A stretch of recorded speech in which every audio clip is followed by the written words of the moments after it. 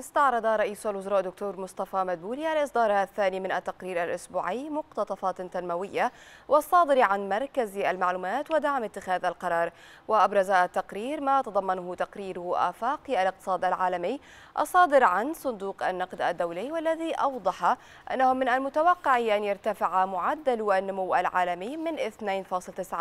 في العام 2019 إلى 3.3% في عام 2020 على أن يشهد شهد زيادة طفيفة في العام 2021 ليسجل 3.4%